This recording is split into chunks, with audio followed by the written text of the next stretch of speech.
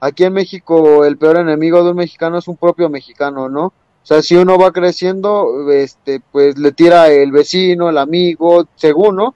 Entonces nada más los que pueden uno confiar es en la propia familia o hasta eh, ni en luego ni en los amigos de trabajo, ¿no? Entonces nada más a los que son sus familiares realmente.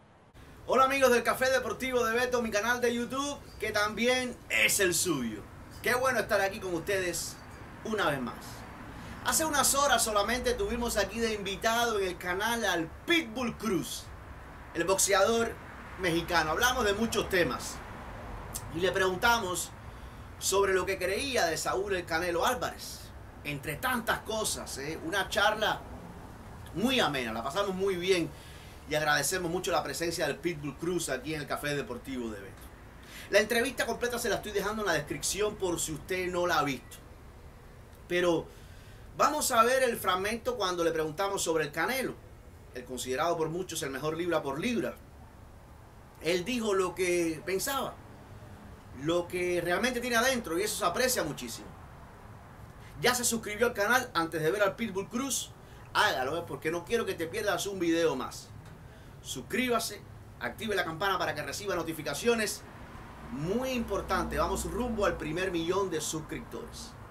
El Pitbull Cruz habla sobre el Canelo, habla sobre el público mexicano, el boxeador mexicano, de la familia, de todo eso. Imperdible a prestar atención porque después quiero conocer su opinión. Sí, Pitbull Cruz. Y esto nos decía. Ya no, ya estamos acostumbrados de los que le tiran a Canelo, pero pues realmente Canelo hizo su trabajo muy bien. Fue un golpe que Billy Joe Saunders no se lo esperaba, lo sacó de, de imprevisto Canelo y lo pegó y lo conectó. ¿Te parece injusto que critiquen tanto a Canelo, sobre todo en México, Pitbull? Sí, claro, ahora sí que aquí en México el peor enemigo de un mexicano es un propio mexicano, ¿no? O sea, si uno va creciendo, este, pues le tira el vecino, el amigo, según, ¿no? Entonces nada más los que pueden uno confiar es en la propia familia o hasta eh, ni en luego ni en los amigos de trabajo, ¿no? Entonces nada más a los que son sus familiares realmente es el mejor hoy, mejor boxeador. Está orgulloso de ser mexicano como el Canelo Álvarez, se siente bien representado por él. Sí, claro, ahora sí que pues a mucha gente no le gusta por porque no da peleas sangrientas, no da peleas como las que estábamos acostumbrados a ver anteriormente, ¿no? Pero pues cada mexicano tiene su estilo y es muy respetable, pero pues para que hagan el estilo que Canelo hace de quitarse los golpes que hace ver sencillamente, pues no cualquiera lo hace, ¿no?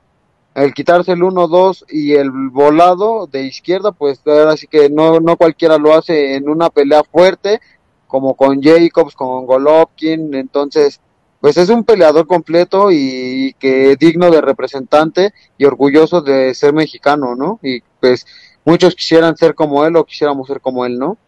Primero que todo, gracias al Pitbull por concedernos esos minutos ¿Qué les parece lo que afirmaba, no? El peor enemigo de un mexicano en México es el propio mexicano. Él no tiene ningún problema con el estilo del Canelo. Ah, afirmaba que el tema del Canelo es que como están acostumbrados los mexicanos a ver combates sangrientos y el Canelo no da ese tipo de combates, eh, por eso lo critican bastante. Que el tema es básicamente de envidia. Le da mucho crédito de la manera que se quita los golpes el Canelo Álvarez.